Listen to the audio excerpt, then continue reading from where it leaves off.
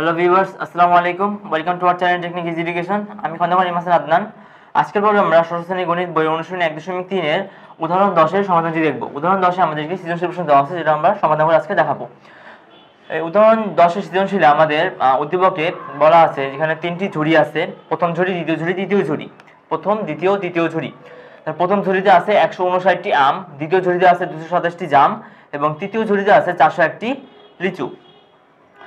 এরপর আমাদের ক নম্বর প্রশ্নে বলা আছে, একশো উনষাটের গুণনীয়কগুলো নির্ণয় করে মৌলিক গুণনীয়কগুলো আলাদা করো। অর্থাৎ আমাদের ক নম্বর, আমরা জানি ক- নম্বর প্রশ্নে আমাদের কি বলা ছিল একশো উনষাটটি, তাহলে একশো উনষাটটি এখানে উদ্দীপকের সাথে সামঞ্জস্য আছে যে একশো উনষাটটি আম বলা আছে এখানে ছিল। সেই সংখ্যা থেকে আমরা সেই উদ্দীপক অনুযায়ী এখানে বলা আছে যে একশো উনষাটটি একশো উনষাট এর গুণনীগুলো নির্ণয় করে সেখান থেকে মৌলিক গুণনীগুলো আলাদা করতে হবে। আমরা আগেও মৌলিক গুণনীক আলাদা করে আগেও গুণনীক নির্ণয় করেছি বিভিন্ন সংখ্যার এখানে বলছে গুণনীয়ক নির্ণয় করে সেখান থেকে মৌলিক গুণনীক আলাদা করতে। এখন গুণনীয়ক হলো যে প্রতি, একটি সংখ্যাকে যে সংখ্যা দ্বারা আমরা ভাগ করে নিঃশেষে বিভাজ্য করতে পারি, সেই সংখ্যাগুলো হলো ওই সংখ্যার গুণনীয়ক।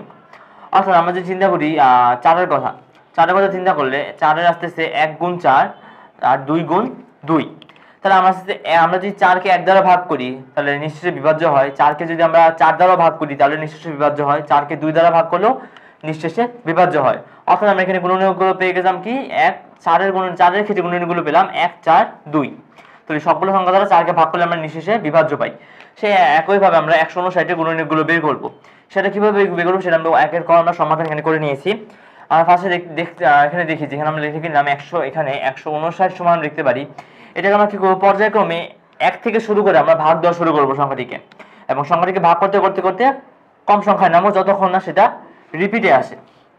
বা মৌলিক সংখ্যায় পরিণত হয়। মৌলিক সংখ্যা পরিণত হয়ে গেলে আমরা সেখানে থেমে যাব। এখন কথা হলো মৌলিক সংখ্যা কি? মৌলিক সংখ্যা হলো যে সংখ্যার গুণনীয়ক এক এবং ওই সংখ্যা বাদে অন্য কোনো গুণনীয়ক নেই। আরেকবার বলি আমি কথাটা যে যে সংখ্যার এক এবং ওই সংখ্যা ব্যতীত অন্য কোনো গুণনীয়ক নেই, তাকে আমরা মৌলিক সংখ্যা বলি। যেমন একটি উদাহরণস্বরূপ একটি সংখ্যা বলতে পারি আমরা তিন। তিনকে আমরা লিখতে পারি এক গুণ তিন। এছাড়া আমরা কোনো তিনের ক্ষেত্রে তিনকে আর অন্যভাবে আমরা ভাঙতে পারি না। অর্থাৎ তিনকে আমরা অন্য কোনো সংখ্যা দ্বারা ভাগ করতে পারতেছি না। এক আছে আর সংখ্যা নিজে তিন আছে। অর্থাৎ আমরা বলতে পারি তিন হলো একটি মৌলিক সংখ্যা। কারণ এখানে তিনের গুণনীয়ক হলো এক ও তিন নিজেই। আমরা কি আমরা সংখ্যাটা বলেছি যে সংখ্যার এক এবং ওই সংখ্যা ব্যতীত অন্য কোনো গুণনীয়ক নেই, তাকে আমরা মৌলিক সংখ্যা বলি। এই জন্য আমরা তিনকে মৌলিক সংখ্যা বলতে পারি। তাহলে আমরা একশো উনষাটকে ফার্স্টে এক দ্বারা ভাগ করলাম। এক দ্বারা যে কোনো সংখ্যা ভাগ করি, তাহলে সেই সংখ্যাটাই আসবে ভাগফল।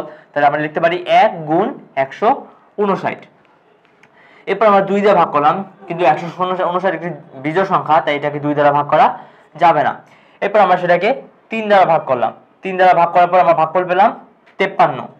তাহলে ভাগফল পেলাম, তিন দ্বারা ভাগ করার পর ভাগফল পেলাম তেপ্পান্ন। এরপর আমরা সংখ্যাটিকে আর কোনো সংখ্যা দ্বারা ভাগ করতে পারি না। চার, পাঁচ, ছয়, সাত আর ভাগ যায় না। অথবা আমরা বলতে পারি, এখানে একটা মৌলিক সংখ্যা হিসেবে বলেছে জন্য সেটা ভাগ যাবে না। তাহলে আমরা লিখতে পারি, এখানে গুণনীয়কগুলো আমরা কীভাবে লিখব? এখন আমরা চারের ক্ষেত্রে আমরা কি বলেছিলাম? চারের ক্ষেত্রে উদাহরণ, আমরা আমরা অঙ্ক শুরু উদাহরণ দিয়েছিলাম চারের ক্ষেত্রে। চারের ক্ষেত্রে উদাহরণ ছিল যে এক গুণ চার, দুই গুণ দুই। সেখান থেকে আমরা নিয়েছিলাম এক, চার, দুই। অর্থাৎ সবগুলো সংখ্যা, যে যে সংখ্যা আমরা গুণাকারে লিখব, সেই সংখ্যা সবগুলো হলো ওই সংখ্যার গুণনীয়ক। অর্থাৎ একশো উনষাটের গুণনীয়ক হলো এক, তিন, তেপ্পান্ন একশো উনষাট এই চারটাই। তাহলে আমরা প্রথম থেকে গুণনীয়কগুলো লেখা শুরু করব, ওপর থেকে নিচে নেমে আবার সেটা উপরে উঠবো। তারপর সেই অনুসারে লেখালাম একশো উনষাটের গুণনীয়কগুলো হলো এক, তিন, তারপরে তেপ্পান্ন, তারপরে উনষাট অর্থাৎ ইউ আকৃতির মতো আমরা উঠতেছি। তাহলে ফার্স্ট হলো এক, তারপরে তিন, তারপরে তেপ্পান্ন, তারপরে একশো উনষাট তো এটা হলো আমাদের একশো উনষাটের গুণনীয়কগুলো। অর্থাৎ আমাদের এখানে কিন্তু একশো উনষাটের গুণনীয়কগুলো নির্ণয় করতে বলা হয়েছে। অর্থাৎ আমরা একশো উনষাটের গুণনীয়কগুলো আমরা পেয়ে গেলাম এক, তিন, তেপ্পান্ন আর একশো উনষাট এই চারটি। তাহলে এটা আমাদের হলো একের কয়ের একটা উত্তর। এর পরবর্তীতে কোন অবশ্য বলা হয়েছে মৌলিক সেখান থেকে মৌলিক গুণগুলো গুণনীয়কগুলো আলাদা করতে। অর্থাৎ মৌলিক গুণনীয়কগুলো আমরা আগে বলা মৌলিক গুণ সংখ্যা কাকে বলে? যে সংখ্যার গুণনীয়ক এক এবং ওই সংখ্যা নিজেই, এবং এছাড়া আর কোনো তার গুণনীয়ক নেই। তাহলে আমরা দেখতে পারি এখানে, আমরা আমরা এককে মৌলিক সংখ্যা বলি না। কিন্তু তিন, তিনকে আমরা কি বলতে পারি? তিনের তিন, এক এবং তিন ব্যতীত অন্য কোনো গুণনীয়ক নেই। অর্থাৎ তিন একটি এখানে মৌলিক গুণনীয়ক। এবং তেপ্পান্ন, এটারও এক এবং তেপ্পান্ন ব্যতীত এর কোনো অন্য কোনো গুণনীয়ক নেই। অর্থাৎ তেপ্পান্ন একটি গুণনীয়ক, মৌলিক গুণনীয়ক। এরপর আমরা লিখতে পারি একশো উনষাট। একশো উনষাটকে আমরা এখানে আগে তিন তিন দ্বারা ভাগ করতে পারি তেপ্পান্ন দ্বারা ভাগ করতে পারি। অর্থাৎ একশো উনষাটের অনেকগুলো গুণনীয়ক আমরা এখানে আগে নির্ণয় করে ফেলেছি, যে এক, তিন, তেপ্পান্ন, একশো উনষাট। এই চারটা গুণনীয়ক আছে একশো উনষাটের। অর্থাৎ এখানে দেখতে পাচ্ছি আমরা তিন এবং তেপ্পান্নর এক এবং এই সংখ্যা ব্যতীত অন্য কোনো গুণনীয়ক তাদের নেই। তাহলে একশো উনষাটের মৌলিক গুণনীয়কগুলো হবে তিন এবং তেপ্পান্ন। এটা হলো একের কয়ের আরেকটি উত্তর। তাহলে একের কথা আমাদের যা চাওয়া হয়েছিল যে একশো উনষাটের গুণনীয়কগুলো নির্ণয় করতে হবে এবং সেটা হবে একটা উত্তর এবং তা থেকে মৌলিক গুণনীয়কগুলো আলাদা করে দেখাতে হবে, সেটা হবে আরেকটা উত্তর। তাহলে আমরা একশো উনষাটের গুণনীয়কগুলো পেয়ে গেলাম, এখানে এক, তিন, তেপ্পান্ন, একশো উনষাট এবং তারপরে একশো উনষাটের মৌলিক গুণনীয়কগুলো পেলাম, সেখান থেকে বাছাই করে তিন এবং তেপ্পান্ন। তাহলে আমাদের উত্তর হলো ফার্স্টের উত্তর হলো একশো উনষাটের গুণনীয়ক এক, তিন, তেপ্পান্ন, একশো উনষাট এই চার এই চারটা গুণনীয়ক। আর পরবর্তীর উত্তরটি হলো একশো উনষাটের মৌলিক গুণনীয়ক হলো তিন এবং তেপ্পান্ন দুইটি গুণনীয়ক। এটা হলো একের কয়ের সরি এটা হবে আমাদের দশের দশের কয়ের সমাধান। আমাদের সৃজনশীলে কিন্তু দশ নাম্বার। আমাদের সৃজনশীলটা দশ নাম্বার সৃজনশীল, দশের উদাহরণ। তাহলে আমরা দশ নাম্বার কয়ের সমাধান দেখতে পেলাম এখানে একশো উনষাটের গুণনীয়কগুলো হলো এক, তিন, তেপ্পান্ন, একশো উনষাট এবং একশো উনষাটের মৌলিক গুণনীয়ক হলো তিন এবং তেপ্পান্ন।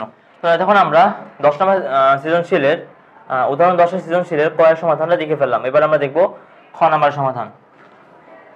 কথা মতে বলা আছে, যদি নয়টি আম, সাতটি জাম ও একটি লিচু পচে যায়, তবে অবশিষ্ট ফলের সংখ্যার লসাগু ইউক্লিডীয় পদ্ধতিতে নির্ণয় করো। অর্থাৎ আমাদের ঝুড়িতে দেওয়া আছে, প্রথম ঝুড়িতে একশো উনষাটটি আম, দ্বিতীয় ঝুড়িতে আছে দুশো সাতাশটি জাম এবং তৃতীয় ঝুড়িতে আছে চারশো একটি লিচু। এখন আমাদের শর্ত দেওয়া আছে যে নয়টি আম পচে যায়, তাহলে কি নয়টি আম কমে যাবে? একইভাবে ষাটটি জাম যদি পচে যায়, ষাটটি জামও কমে যাবে এবং একটি লিচু পচে গেলে একটি লিচুর সংখ্যাও কমে যাবে। তাহলে সেই অনুসারে আমরা করে ফেল, এখানে লিখে ফেললাম যে প্রথম ঝুড়িতে আমের সংখ্যা হবে একশো উনষাট ছিল আগে, এরপর নয়টি পচে গেল। তাহলে নয় বিয়োগ করে দিলাম। তাহলে আস্তে আস্তে একশো উনষাট থেকে নয় বিয়োগ করে আসে একশো পঞ্চাশটি। তাহলে এখন ঝুড়িতে আম আছে একশো পঞ্চাশটি। নয়টি আম পচে যাওয়ার পর আম আছে একশো পঞ্চাশটি। এরপর দ্বিতীয় ঝুড়িতে জামের সংখ্যা হবে একইভাবে। দুশো সাতাশটি ছিল জাম, তার মধ্যে ষাটটি পচে গেল, তাহলে বিয়োগ সাত, বিয়োগ করে পাবো দুশো বিশটি জাম। এরপর তৃতীয় ঝুড়িতে ছিল আমাদের চারশো একটি লিচু। চারশো একটি লিচুর মধ্যে একটি লিচু পচে গেল, তাহলে একটি লিচু বাদ দিয়ে দিলাম, থাকল আমাদের চারশোটি লিচু। তাহলে আমরা আমের সংখ্যা পেলাম একশো পঞ্চাশটি, জামের সংখ্যা পেলাম দুশো বিশটি এবং লিচুর সংখ্যা পেলাম চারশোটি। এরপর বলা আছে, অবশিষ্ট ফল, অর্থাৎ অবশিষ্ট ফলের সংখ্যা আমরা বের করে ফেললাম এভাবে। তাহলে অবশিষ্ট ফলের সংখ্যা লসাগু ইউক্লিডীয় পদ্ধতিতে নির্ণয় করো। অর্থাৎ আমরা, এখন আমরা একশো পঞ্চাশ, দুশো বিশ ও চারশোর লসাগু বের করব, যেটা হলো ইউক্লিডীয় পদ্ধতিতে। আর পদ্ধতিতে আমরা লসাগু বের করি কীভাবে? সবচেয়ে মৌলিক গুণনীয়ক দ্বারা, সবচেয়ে ছোট মৌলিক গুণনীয়ক দ্বারা আমরা সংখ্যাগুলোকে ভাগ করি, ভাগ করে, বা যতক্ষণ না মৌলিক সংখ্যা আসতেছে, ততক্ষণ আমরা বিভিন্ন সংখ্যা বাছাই করে ভাগ, পর্যায়ক্রমে ভাগ করে থাকি। ভাগ করার পর মৌলিক সংখ্যা, সবগুলো মৌলিক সংখ্যা পৌঁছানোর পরে আমরা সেগুলো গুণ করার মাধ্যমে সেই সংখ্যাগুলো লসাগু পেয়ে যাই। তাহলে আমরা দেখি এবার সেটা কীভাবে নির্ণয় করলাম। আমরা ফার্স্টে দেখতেছি একশো পঞ্চাশ, দুইশো বিশ এবং চারশো। এর মধ্যে তিনটি সংখ্যায় দুই দ্বারা ভাগ করা যায়। সবচেয়ে ছোট সংখ্যা বাছাই করব আমরা। মানে সবচেয়ে ছোট একটি সংখ্যা বাছাই করব, যেটা দ্বারা আমরা ভাগ করতে, ভাগ করা শুরু করতে পারি বা ভাগ করতে পারি। আমরা দেখতে পাচ্ছি এখানে একশো পঞ্চাশকে আমরা দুই দ্বারা ভাগ করতে পারি, দুইশো বিশকেও দুই দ্বারা ভাগ করতে পারি, চারশোকেও দুই দ্বারা ভাগ করতে পারি। তাহলে দুই দ্বারা ভাগ করা শুরু করলাম, একশো পঞ্চাশকে দুই দ্বারা ভাগ করলে পাবো পঁচাত্তর, দুইশো বিশকে ভাগ করলে পাবো একশো দশ, এবং চারশোকে ভাগ করলে পাবো দুইশো। এরপর দেখতে পাচ্ছি পঁচাত্তর, একশো দশ এবং দুইশোকে আবার আমরা দুই দ্বারা ভাগ করতে পারি। কিন্তু পঁচাত্তরকে ভাগ যায় না। কিন্তু সর্ব বেশি সংখ্যক সংখ্যা ভাগ যেই দেখি আমরা। মানে তিনটে থেকে দুইটি সংখ্যা ভাগ করতে ভাগ করতে পারতেছি দুই দ্বারা। তাহলে আমরা দুই দ্বারা ভাগ করে ফেলব। তাহলে ফার্স্টে আমরা দুই দ্বারা ভাগ করে দিচ্ছি আবারও তাহলে পঁচাত্তরকে ভাগ যায় পঁচাত্তর সরাসরি নেমে আসলো একশো দশকে দুই দ্বারা ভাগ করলে আসবে পঞ্চান্ন, দুইশোকে দুই দ্বারা ভাগ করলে পাবো আমরা একশো।